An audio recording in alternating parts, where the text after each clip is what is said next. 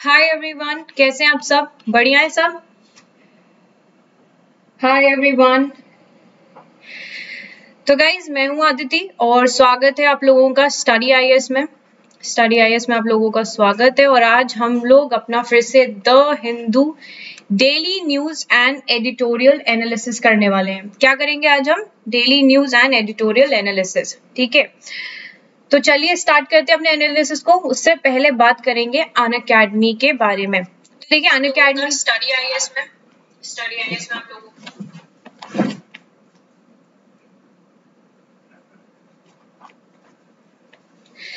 सो so, यहाँ पर आप लोग बात करेंगे अन अकेडमी के बारे में। ठीक है अन अकेडमी का जो कॉम्बैट है तो अन अकेडमी का कॉम्बैट क्या है? एक तरीके की लाइव क्विज है आप लोगों के लिए।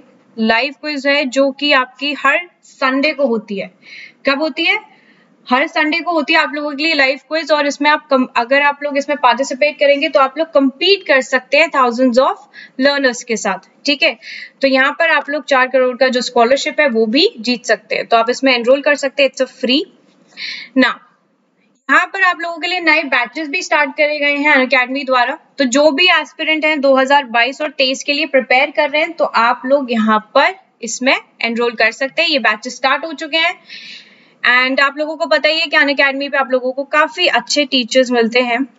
काफ़ी अच्छे एजुकेटर्स हैं यहाँ पे और क्लासेस भी आपकी हिंदी इंग्लिश दोनों में ही होती है। तो जब भी आप लोग सब्सक्रिप्शन लोगे अन अकेडमी का तो आपको पता है कि आपको एक कोड यूज़ करना होता है। कौन सा कोड है वो? स्टडी आई एस है चैनल का नाम है कोड ठीक है?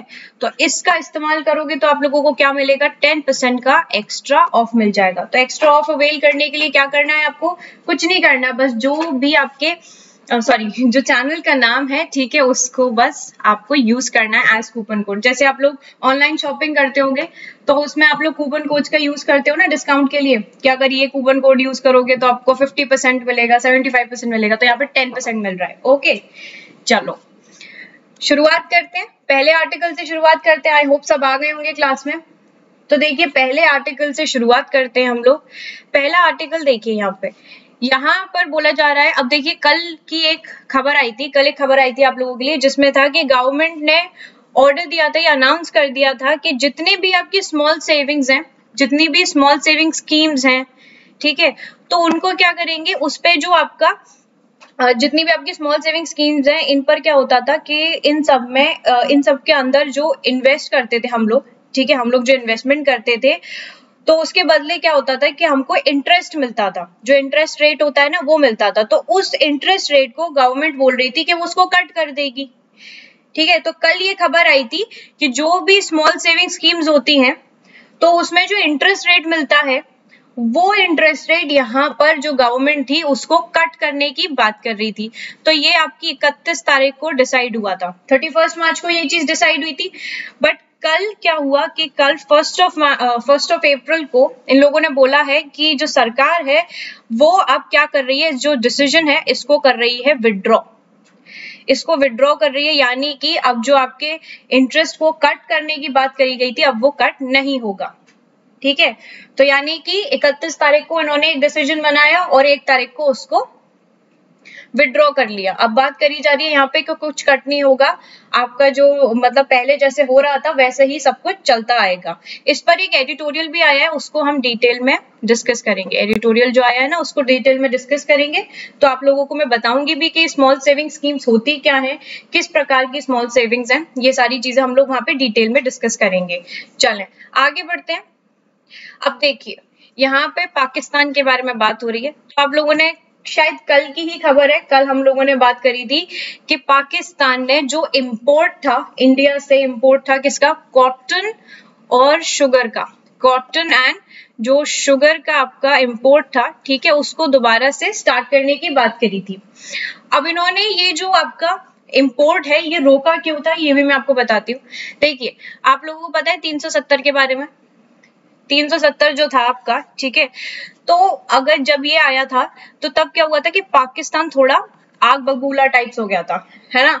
तो उसने बोल दिया था कि भाई, अब हम इंडिया से कोई भी व्यापार वगैरह कुछ भी नहीं करेंगे। व्यापार क्या है? देखो इम्पोर्ट मतलब ये बेसिकली हमारे इंडिया से जो सामान है, वो जाता ही है वहाँ पर। तो उन्होंने मना कर दिया था कि हम नहीं करेंगे क्योंकि जब तक ये आ, कश्मीर के साथ ऐसा मतलब ऐसी चीज़ें करते रहते हैं जब तक कश्मीर का ये डिस्प्यूट है ये नहीं हटेगा तब तक कोई भी चीज़ नॉर्मलाइज नहीं हो सकती दोनों ही देशों के बीच में। उसके बाद क्या हुआ कि हम एक महीने से सुनने में आ रहा है काफ़ी ज़्यादा सुनने में आ रहा है कि कोई ना कोई आर्टिकल आ रहा है जिसमें कभी इनके जो प्राइम मिनिस्टर है वो बात करते हैं कि इंडिया को और पाकिस्तान को जो अपने रिलेशन हैं वो बहुत अच्छे कर लेने चाहिए ठीक है पास्ट में जो भी चीज़ हुई है उसको भूल जाना चाहिए। तो अब हाल फ़िलहाल में ही कल की बात है कि उन लोगों ने बोला कि अलाउ कर देते हैं ये। क्या अलाउ कर देते हैं? इम्पोर्ट करना। अब अलाउ कर देते हैं। तो किसका इम्पोर्ट हो रही थी कल? कॉटन और शुगर के बारे में बात हो रही थी। अब यहाँ पर इन्होंने क्या कहा है? यहाँ पर इन्होंने यू टर्न ले लिया है। यहाँ पे इन्होंने बोला है कि नहीं, ऐसा नहीं होगा। हमें कोई भी इम्पोर्ट नहीं करना है। ठीक है इंडिया से। तो Pakistan has freezes plan to allow imports from India तो ये इंपोर्ट नहीं करवाना चाहते अब इंडिया से, क्योंकि वही मुद्दा वापस से आ गया जब तक नॉर्मलाइजेशन नहीं होगी। मतलब इनके जहन में सिर्फ़ एक ही चीज़ है, वो है क्या? कश्मीर वाला जो डिस्प्यूट है ना, बस वही है। किसी प्रकार से वहाँ पर जो भी मतलब अब देखिए, जो हिस्सा हमारा है तो हम जो भी चाहें उसके साथ कर सकते हैं बट इनको कोई ना कोई परेशानी रहती है। तो यहाँ पर इनकी परेशानी यही है। इन्होंने अभी हाल फ़िलहाल में मना कर दिया है कि ये किसी भी प्रकार का इम्पोर्ट नहीं करवाएँगे इंडिया के साथ। ठीक है? चले, अगली खबर पे चलते हैं। अब यहाँ पे बात हो रही है दादा साहेब फाल्के अवार्ड के बारे में। तो जी हाँ रजनीकांत को तो सब जानते होंगे, है ना? साउथ के काफ़ी अच्छे सुपरस्टार हैं। तो रजनीकांत जी को मिला है यहाँ पर दादा साहेब फाल्के अवार्ड ठीक है? क्योंकि उन्होंने करीब 50 इयर्स अपने इंडस्ट्रीज़ में दिए हैं। पचास साल काम किया उन्होंने तो इसी बिहाफ पे उनको यहाँ पर क्या मिला है? दादा साहेब फाल्के अवार्ड मिला है। ठीक है? और ये जो आपका दादा साहेब फाल्के अवार्ड है, ये 1969 में स्टार्ट हुआ था और ये जितने भी आपके हाईएस्ट ऑनर आर्टिस्ट होते हैं इंडियन सिनेमा में उनको ही मिलता है। ओके चलें। आगे बढ़ते हैं। यहाँ पे बात हो रही है जीएसटी के मॉपअप हिट्स के बारे में। तो अभी हाल फ़िलहाल में जो जीएसटी कलेक्शन है जो आपका जीएसटी का कलेक्शन है वो मार्च में रिकॉर्ड हुआ है करीब आपका आ, करीब आ, एक लाख तेईस हज़ार नौ सौ दो करोड़ का ठीक है? और ये आपका यहाँ पर जब हमारा पैंडमिक था यानी कि जब लॉकडाउन वगैरह हुआ था तो उस टाइम पे क्या था कि ये काफ़ी ज़्यादा नीचे चला गया था पर अभी यहाँ पे हमें ये ऊपर इंक्रीज होता ही दिख रहा है ठीक है? अभी तो इंक्रीज होता दिख रहा है बट जब पैंडमिक था पैंडमिक के टाइम पर जब पहला आपका यू you नो know, जब पहला लॉकडाउन हुआ था तो उस टाइम पे क्या हुआ था कि जो रेवेन्यू था वो बिल्कुल ही नीचे गिर गया था। क्यों गिर गया था? क्योंकि आप लोगों को है कि लॉकडाउन हुआ था तो उस टाइम पे सारा जो व्यापार था, सारी चीज़ें थी, बंद थी। क्योंकि कोई काम पे जा नहीं सकता था। उस टाइम पे भी सिर्फ़ और सिर्फ़ आपको चार घंटे दिए जाते थे कि बाहर जाके कोई मतलब अपना काम कर सकते और कोई कुछ नहीं कर सकता। तो यहाँ पर उसी की वजह से यहाँ पे जितना भी आपका ये जीएसटी वगैरह था, वो सब नीचे रेवेन्यू बिल्कुल नीचे गिर गया था। बट अभी ये ऊपर जाता हमें नज़र आ रहा है। ठीक है? अगले आर्टिकल पे चलते हैं। अब यहाँ पे क्या हो रहा है कि चाइन सॉरी चाइना कह रही हूँ Chennai gets direct airlink with Paris अब यहाँ पे क्या हो रहा है कि चेन्नई जो है आपका Chennai will finally get its direct airlink with Paris now ठीक है? तो पेरिस आपकी फ्रांस की राजधानी है। फ्रांस की राजधानी है तो आप लोग देखेंगे यहाँ पे पेरिस को अगर मैप में तो आप लोगों को मिल जाएगी। और यहाँ पर आपकी एक नदी भी है। कौन सी नदी है? सीन नदी है। ठीक है उसको अगर आप मैप में लोकेट करेंगे तो मिल जाएगा। तो यहाँ पे जो आपका एयर इंडिया है तो एयर इंडिया आपका यहाँ पे कनेक्ट कर रहा है दोनों कैपिटल्स uh, को using a 256 seat two class business और आपकी इकोनॉमी ठीक है और यहाँ पर आपका जो एयरक्राफ्ट है उसका नाम है 787 ड्रीम लाइनर एयरक्राफ्ट ठीक है तो यहाँ पे क्या हो रहा है कि चेन्नई को और पेरिस का एक डायरेक्ट एयरलिंक यहाँ पे बनाया जा रहा है। किसके द्वारा? एयर इंडिया के द्वारा। ये चीज़ आप लोग ध्यान रखना। ठीक है? चले। स्टार्ट करते हैं दूसरी अगली खबर की तरफ़ आगे बढ़ते हैं। अब यहाँ पे बात हो रही है बिम्स्टेक के बारे में। तो बिम्स्टेक मीट्स कर्ज म्यांमार वायलेंस अब यहाँ पे क्या हुआ है कि थर्सडे को जो बेसिकली uh, बिम्स्टेक है क्या? मैं आपको ये बता देती हूँ। पहले बिम्स्टेक क्या है Bay of Bengal initiative for multisectoral technology technical and economic cooperation तो अब यहाँ पे क्या है कि बेसिकली इसके बारे में थोड़ी सी चीज़ें जानते हैं। ये आपकी एक इंटरनेशनल ऑर्गेनाइजेशन है और इसमें सेवन नेशंस हैं आपके साउथ एशिया और साउथ ईस्ट एशिया के।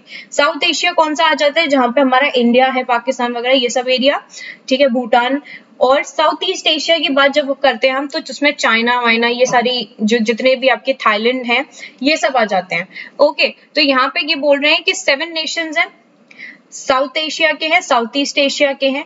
तो ये बेसिकली आपका क्या है कि यहाँ पर बोला जा रहा है कि it's housing of 1.5 billion people and having a combined gross domestic product ठीक है, जो है आपका करीब 3.5 ट्रिलियन डॉलर का।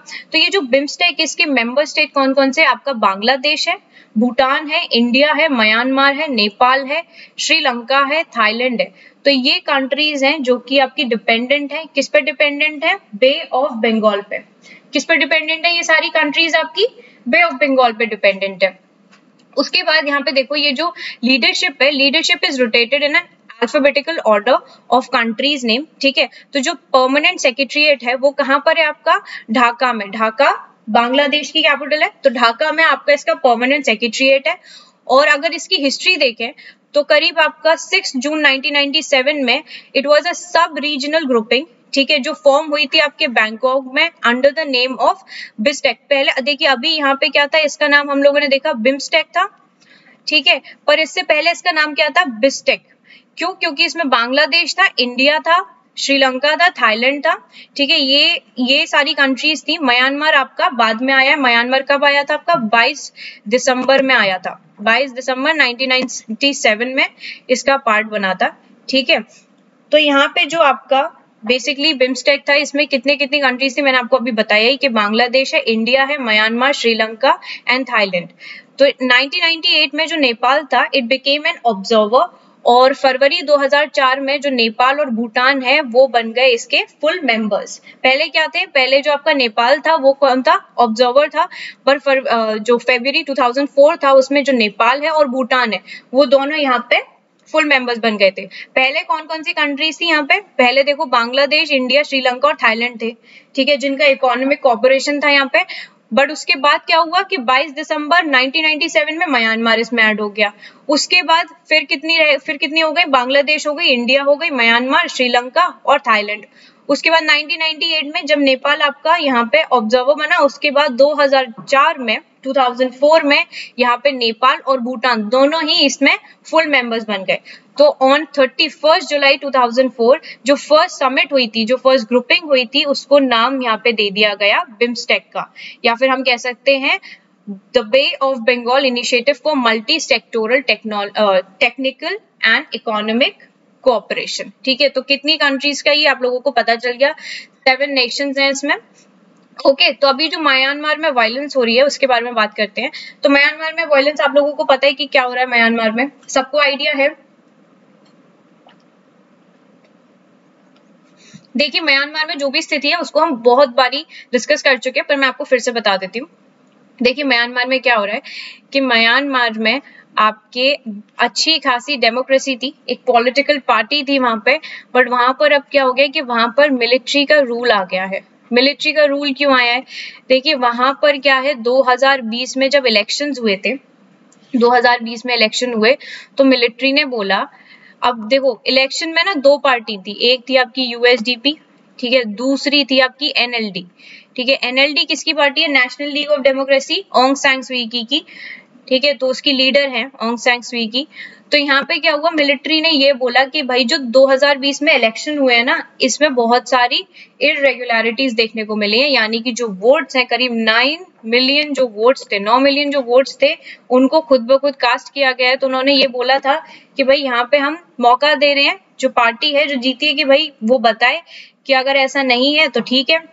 तो मौका दिया गया था बट उससे पहले क्या फ़र्स्ट ऑफ़ फेब को फ़र्स्ट ऑफ़ फेब 2021 में जब आपकी पार्टी थी, वो अपने सारे चार्जेस लेने के लिए आ रही थी, तब तक यहाँ पे मिलिट्री ने एक फरवरी को अपना लगा दिया मिलिट्री रूल जिसकी वजह से जो लोग हैं यहाँ पे काफ़ी ज़्यादा परेशान है। लोग क्यों परेशान है? क्योंकि भाई देखो, उनके यहाँ क्या था कि उनके यहाँ डेमोक्रेसी थी, ठीक है, आज़ादी थी, और अब सडनली जब आपकी ये मिलिट्री रूल आ गया तो जो आज़ादी है वो बहुत ही ज़्यादा बेकार मतलब आज़ादी क्या है? वहाँ पे प्रोटेस्ट चल रहा है और प्रोटेस्ट में अभी हम लोगों ने हाल फ़िलहाल में देखा था कि 500 लोग भी खत्म हो गए हैं। इस प्रकार का वहाँ पे प्रोटेस्ट चल रहा है क्योंकि यहाँ पे जो मिलिट्री है, वो अपना यहाँ पे रूल चला रही है। लोगों को परेशान कर रही है डिटेन कर लिया है लोगों को, ठीक है? और बहुत प्रॉब्लम्स यहाँ पे देखने को मिल रही है। इसी वजह से बहुत सारे लोग थे क्योंकि अब रहने लायक जगह बची नहीं है आपकी। म्यांमार, इस वजह से काफ़ी सारे लोग थे जो कि आपके इंडिया की तरफ़ भी आते हुए नज़र आ रहे थे। चलिए, आगे बढ़ते हैं। अब यहाँ पे देखिए बात हो रही है हमारे कोविड 19 की। तो आप लोगों को पता है कि इंडिया में जो कोविड 19 है उसका सेकंड वेव देखने को मिल रही है। यानी कि केसेस बहुत तेज़ी से बढ़ रहे हैं। इवन कैपिटल में भी जो केसेस हैं आज ही आ, आपका एक आर्टिकल आया था जिसमें बताया गया था कि जो कैपिटल है उसमें 2000 तक केसेस बढ़ चुके हैं। तो यहाँ पे क्या है? यहाँ पे बोल रहे हैं कि जो यंगर लोग हैं जो यंग पीपल हैं वो ज़्यादा रिस्क पे हैं आपके सेकेंड वेव पे। अब यहाँ पे क्या है, देखो स्कूल भी खोल दिए गए हैं। स्कूल भी खोल दिए गए हैं और सारी चीज़ें धीरे धीरे खुली हुई हैं। तो यहाँ पे बच्चों को काफ़ी बोला जा रहा है कि बहुत ज़्यादा ध्यान रखना पड़ेगा, क्योंकि जो भी बच्चे स्कूल में जा रहे हैं, अब देखिए, घर बैठ के बच्चों की पढ़ाई हो नहीं पा रही है, सबको पता ही है जो भी जिनके भी बच्चे यहाँ पे पढ़ रहे होंगे घर पे बैठ के तो उनकी पढ़ाई नहीं हो पा रही है। इसकी वजह से स्कूल्स वगैरह ने डिसाइड किया कि भाई स्कूल कॉलेजेस वगैरह उन्होंने डिसाइड किया कि हम खोल देते हैं धीरे धीरे ठीक है, ताकि बच्चों का किसी प्रकार का लॉस होना नहीं चाहिए। और अब यहाँ पे क्या बोला जा रहा है कि यहाँ पे जिस प्रकार से केसेस बढ़ते हुए नज़र आ रहे हैं, जो सेकेंड वेव आ रही है यहाँ पे, उससे क्या है कि लोग बहुत ज़्यादा डर का एक माहौल बन गया है। अब जो लोग हैं, जो पेरेंट्स हैं, वो अपने बच्चों को भी स्कूल भेजने में डर रहे हैं। क्यों डर रहे हैं? वो कि मान लीजिए देखो, बच्चों को आप ये नहीं समझा सकते कि आप ऐसे करना, वैसे करना। उनका क्या पता है कि उन्होंने कहाँ हाथ लगा लिया, क्या कर लिया? तो उससे क्या है कि लोगों को डर है किसका? कहीं इनको इन्फेक्शन ना हो जाए, कहीं इनको वायरस ना लग जाए। ठीक है? तो यहाँ पे यही बात करी गई है कि जो यंगर पीपल हैं they are at risk during the second wave okay तो आप सब भी अपना ध्यान रखें हैंड वॉश करना मास्क पहनना सबसे ज़्यादा ज़रूरी है और लोगों से बहुत दूरी बनाए रखना। ना अब यहाँ पे अगला आर्टिकल है। अगला आर्टिकल आपका बात कर रहा है कि जो बिडन है, यानी कि जो बिडन है, आपके यूएस प्रेसिडेंट है तो इन्होंने क्या करा है? इन्होंने जो आपका एच वन बी वीज़ा है, इन्होंने यहाँ पर उसको जो बैन लगाया था बैन किसने लगाया था? बैन तो हमारे एक ही इंसान लगा सकता है जिसने सारे ऐसे काम करे थे। डोनाल्ड ट्रंप ने यहाँ पे बैन लगाया था, ठीक है? पर यहाँ पर बिडन ने उसको एक्सपायर कर दिया अब देखिए H one H one B visa आपका है क्या? तो ये है आपका it is a non immigrant visa जो कि अलाउ करता है, जैसे कि आपकी यूएस की कंपनीज़ हैं। यूएस की जो कंपनीज़ हैं, हम उसमें जाके वर्क कर सकते हैं। कौन वर्क कर सकता है वहाँ पे? इंडिया और चाइना के लोग। ठीक है? इंडिया और चाइना के जो लोग हैं, वो वहाँ जाके वर्क कर सकते हैं यूएस की कंपनीज़ में। ठीक है? तो यहाँ पर क्या है कि यहाँ पर आपकी जो ट्रंप थे, उन्होंने यहाँ पे इस पे बैन लगा दिया था। उन्होंने बोल दिया था कि नहीं, जितने भी हमारे लोग हैं, उनको एम्प्लॉयमेंट मिलना चाहिए, वो यहाँ पे काम करेंगे। बाकी का कोई और व्यक्ति किसी और देश से यहाँ पर नहीं आएगा। तो इस वजह से उन्होंने इस पर्टिकुलर वीज़ा पे, क्या है आपका? H one H one B visa इस पे उन्होंने लगा दी थी रोक। ठीक है कि इसके तहत लोग नहीं आएँगे। बट यहाँ पर जो बिडन है, जो बिडन है, वो वैसे भी अपने रिलेशन सब जगह अच्छे अच्छे करने की कोशिश कर रहे हैं। तो इस वजह से उन्होंने यहाँ पर ये एक्सपायर कर दिया है। और इससे हमारे लिए भी एक चीज़ हो गई, जो आपकी यूएस की कंपनीज़ हैं, अब लोग इंडिया से हो चाइना से हो, वो वहाँ पर जाके वर्क कर सकते हैं। ठीक है? चलिए। आगे बढ़ते हैं। और वैसे भी अभी आप लोगों ने पता होगा कि हम लोगों ने कल ही देखा था कि उन्होंने एक पर्टिकुलर क्या था? एक प्लान था इंफ्रास्ट्रक्चर प्लान ठीक है, जिसपे उन्होंने टू ट्रिलियन डॉलर का भी एक प्लान निकाला था, किस पे? इंफ्रास्ट्रक्चर पे, जो आपका यूएस का इंफ्रास्ट्रक्चर है जो यहाँ पे आपके ब्रिजेस हो, चाहे रोड्स वगैरह हो, उस पर पैसा लगाने की बात करी थी। चलो, आगे बढ़ते हैं। यहाँ पे आई थिंक आपका एक एडिटोरियल मिसिंग है तो मैं आपको उसको यहीं पे बता देती हूँ। वो आपका ट्रेड डेफिसिट पे था। एक सेकेंड आई थिंक मैं उसको डालना भूल गई. ट्रेड डेफिसिट पे था. ठीक है, जो आपका ट्रेड डेफिसिट है, वो काफ़ी यहाँ पर आपको गिरता हुआ नज़र आ रहा है. ट्रेड डेफिसिट क्या होता है, मैं आपको ये बता देती हूँ कि मान लो जैसे हमने किसी कंट्री से, किसी भी कंट्री से कोई भी इम्पोर्ट मतलब हमने कुछ गुड्स लिए. ठीक है तो हमने क्या करा? इम्पोर्ट किया. ठीक है इम्पोर्ट किया किसी भी कंट्री से. अब हमने इम्पोर्ट कर लिया बहुत ज़्यादा. बहुत ज़्यादा इम्पोर्ट कर लिया। भर भर के इम्पोर्ट कर लिया यहाँ पे। और उसका क्या था, हम एक्सपोर्ट नहीं कर पाए। उतना एक्सपोर्ट नहीं करा मतलब जितना हमने भर लिया, जैसे मान लेते हैं ना कि हमने बहुत सारा सामान ले लिया है और ये हमें अब देना है लोगों को कि हमने इतना खरीद लिया है, अब हम इतना देंगे। ये इतना यहाँ पे देना है। तो हम ये उम्मीद करते हैं ना कि हमारे से ज़्यादा से ज़्यादा चला जाए ताकि हमें ज़्यादा प्रॉफिट हो। तो यहाँ पे क्या है कि हमने ले तो बहुत ज़्यादा लिया है इम्पोर्ट तो ज़्यादा कर लिया है पर हम क्या है कि हम उसको एक्सपोर्ट नहीं कर पाए उतना एक्सपोर्ट नहीं हो पाया एक्सपोर्ट बहुत कम हुआ है। तो इसी वजह से क्या है कि यहाँ पर जो आ, हमारा जब एक्सपोर्ट इतना ज़्यादा नहीं हुआ है तो जो हमारा ट्रेड डेफिसिट है मतलब वो काफ़ी ज़्यादा गिर गया है अभी ठीक है? चलो अब एडिटोरियल पे चलते हैं। तो देखिए, यहाँ पे मैंने आपको बताया था कि जो आपकी पहली खबर थी, उस पर एक एडिटोरियल है तो इस एडिटोरियल को हम लोग डिटेल में डिस्कस करते हैं। तो देखिए, क्या बात है कि आपके जो सरकार है, सरकार ने कहा था कि देखिए, हमारा क्या होता है कि फ़र्स्ट ऑफ़ अप्रैल से फ़र्स्ट ऑफ़ अप्रैल कह लें या थर्टी फ़र्स्ट मार्च से कह लें, क्या होता है कि हमारा फाइनेंशियल ईयर जो है, वो स्टार्ट होता है। अब यहाँ पे क्या होता है कि जो नए रूल्स होते हैं ठीक है? उनको लागू करते हैं। जो नए रूल्स हो गए टैक्सेस वगैरह हो गए, ये सारी चीज़ें उनको लागू किया जाता है। वो आपके स्टार्ट होते हैं। कब से स्टार्ट हो जाते हैं आपके? फ़र्स्ट ऑफ़ अप्रैल से स्टार्ट हो जाते हैं। ओके तो जिसमें से क्या है कि एक आपका नया रूल आया था। ठीक है? वेटनेसडे को आया था ये रूल कब आया था? वेटनेसडे को रूल आया था। अब इसमें क्या था? वेटनेसडे को रूल जो आया, उसमें था कि जो आपकी स्मॉल सेविंग्स हैं। जैसे स्मॉल सेविंग्स वगैरह करते हैं। अब ये स्मॉल सेविंग्स क्या है? जैसे कि आपके पीपीएफ हो गए। ठीक है पीपीएफ कैसे, जैसे लोग हैं पोस्ट ऑफ़िस होते हैं ना पोस्ट ऑफ़िस तो पोस्ट ऑफ़िस में अपने क्या है कि मनी डिपॉजिट करते हैं। जो लोगों की छोटी छोटी पूंजी होती है, उसको कहाँ करते हैं? पोस्ट ऑफ़िस वगैरह में करते हैं। जो स्मॉल स्कीम्स वगैरह होती है, जैसे सुकन्या वगैरह हो गई, ये जो स्कीम्स होती हैं तो जो आदमी आपके, जो छोटे वर्ग वाले लोग होते हैं, वो अपने धीरे धीरे धीरे धीरे, ठीक है, पैसे होते हैं, वो उसमें जमा करते रहते हैं, उन्हें कलेक्ट करते हैं, ताकि अब यहाँ पे क्या होता था कि यहाँ पर इन सारी सेविंग्स पे जो आपकी सरकार थी वो इंटरेस्ट रेट देती थी। मतलब इंटरेस्ट रेट जो था ठीक है वो देती थी इस पे। तो देखिए अब जा, अगर ज़्यादा इंटरेस्ट रेट होगा ठीक है इंटरेस्ट रेट अगर आपका ज़्यादा होगा तो इंसान थोड़ा सा इनकरेज होगा अपना पैसा जमा करने के लिए। अब यहाँ पर अगर आपका इंटरेस्ट रेट ही कम हो जाएगा तो लोग यहाँ पे पैसा जमा क्यों करेंगे? फिर तो वो अपने घर में ही जमा कर लें। है ना? तो यहाँ पे क्या हुआ कि सरकार ने बोला कि ये जो इंटरेस्ट रेट है, इसको हम कट कर देंगे। थोड़ा सा कम कर देंगे यहाँ पे। और उसके बाद क्या हुआ कि थर्सडे को थर्सडे को आया कि भाई, नहीं, ऐसा नहीं हो रहा है। थर्सडे को मना कर दिया गया। थर्सडे को उन्होंने विड्रॉ कर लिया कि हम, आपका जो इंटरेस्ट रेट है, उसको कट नहीं करेंगे। ठीक है? वैसे ये बेसिकली जो सरकार थी, वो करीब 1.1 परसेंट जो आपका इंटरेस्ट रेट था, उसको कम कर रही थी। ठीक है? तो इस एडिटोरियल में यही बात थी कि जो आपकी छोटी छोटी स्कीम्स वगैरह होती है ना, जैसे सुकन्या स्कीम हो गई और आपकी जो पोस्ट ऑफ़िस में लोग, आपकी आरडी वगैरह होती हैं, ये सब लोग अपनी जमा करते हैं, ठीक है? तो उन पर क्या होता था कि सरकार इंटरेस्ट रेट देती थी। अब जितना ज़्यादा इंटरेस्ट रेट है तो उसी हिसाब से लोग अपना पैसा जमा करते हैं। अब यहाँ पे आप लोग बता सकते हो क्या?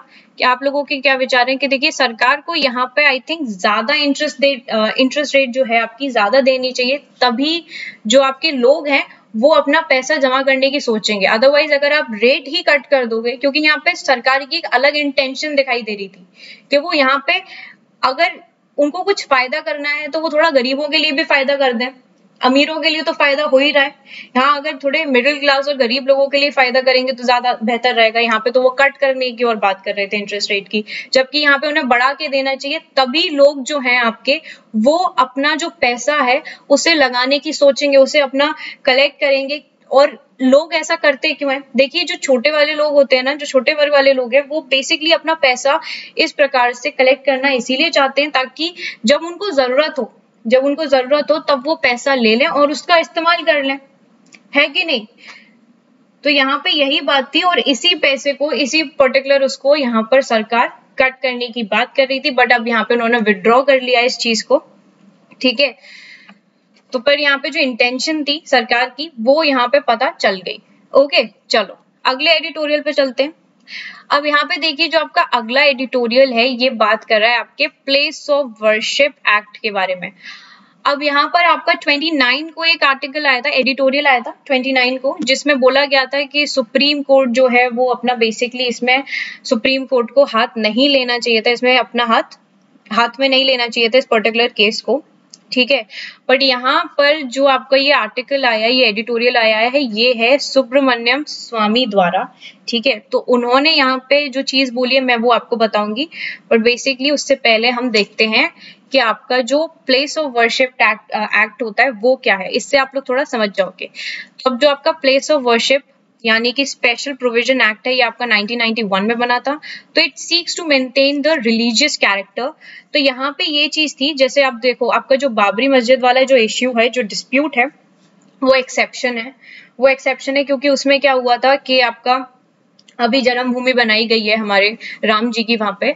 तो यहाँ पे क्या था कि यहाँ पे बोला गया था कि मान लीजिए कि 1947 क्योंकि तभी हम आज़ाद हुए थे मतलब एक पार्टीशन हुआ था तो उस टाइम पे ये बोला गया था कि उसके बाद अगर कोई भी आपके मंदिर हैं, मान लीजिए कोई भी मंदिर है, कोई भी मस्जिद है, या कोई भी आपका गुरुद्वारा है ठीक है तो उनको कन्वर्ट नहीं किया जाएगा कि मान लो कि आप कहो कि हम अपने जो ये मस्जिद है, ये मस्जिद से पहले हमारा मंदिर था, मंदिर को यहाँ पे उन्होंने मस्जिद बना दिया था तो इसे हम कन्वर्ट कर लेते हैं। तो ये इस चीज़ पे मना कर दी गई थी कि ये नहीं होगा। बस आपका जो राम जन्मभूमि वाला जो केस था, वो यहाँ पर एक्सेप्शन रखा गया। तो मैंने आपको बताया कि पर्पस क्या था? तो section three of the act bans the conversion of a place of worship or even a section of it into a place of worship of different religious denomination. अभी देखो, ये क्यों लगाया था यहाँ पे? देखो, लोग क्या है? हम लोग जो है, हमें रिलीजन जो है हमारे लिए कमज़ोरी है। और जब हमें पता चले कि यहाँ पर हमारा मंदिर था, मंदिर की जगह कुछ और बना दिया तो फिर हम उसके लिए क्या करेंगे कि हम पूरी तरीके से कोशिश करेंगे कि हमारा जो मंदिर था, क्योंकि हमारी उसमें क्या है? हमारी बिलीफ है। तो रिलीजियस बिलीफ होती है तो इंसान उसी चीज़ पे फोकस करता है कि भाई हमारे साथ ऐसा हो गया तो हम ये करें तो इसीलिए यहाँ पर लाया गया था कि कोई भी मंदिर या मस्जिद किसी उसमें कन्वर्ट नहीं होगा।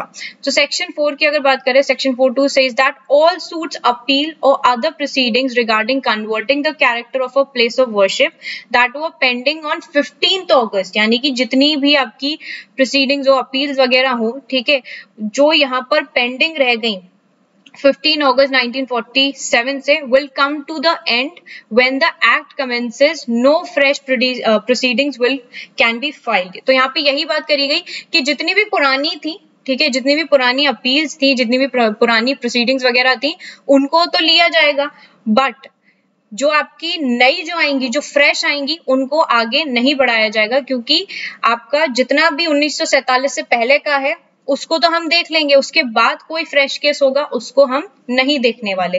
क्योंकि मेन मुद्दा यही था, देखो पार्टीशन हो गया और बाकी सारी चीज़ें थी तो यहाँ पे बहुत सारे मुद्दे उठ सकते थे, इसी वजह से ये पर्टिकुलर चीज़ लेकर आए। ठीक है?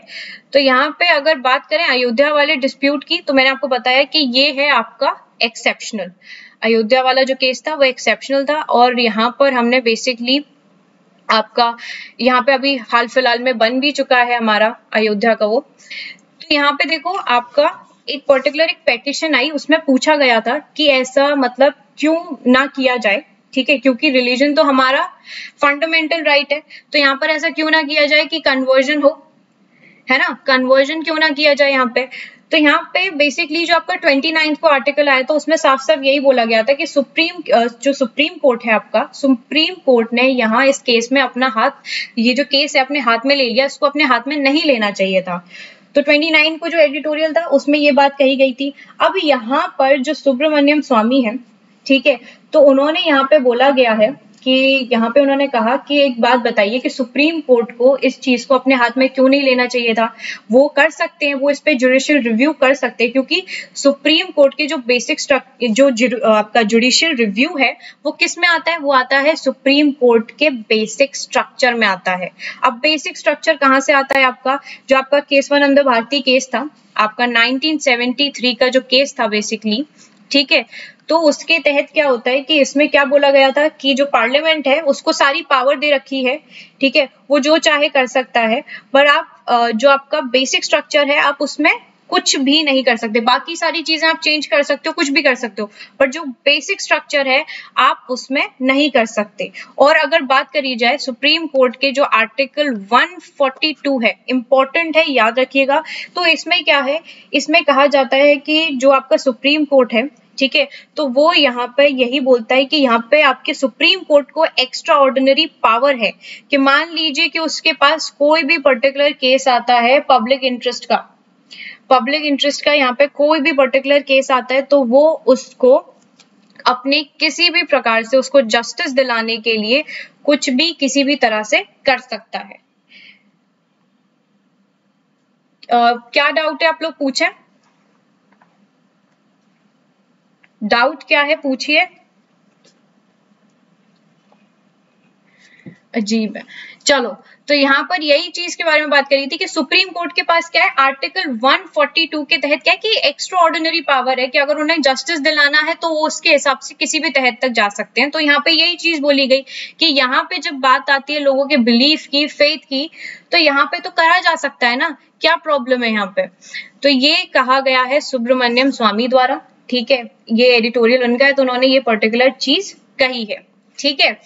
तो यहाँ पे आई थिंक आप लोगों को क्लियर हो गया होगा ये एडिटोरियल आई होप आप लोगों को क्लियर हो गया होगा। कोई इश्यू तो नहीं है इसमें। अगर कोई इश्यू है तो आप लोग प्लीज़ बता सकते हैं।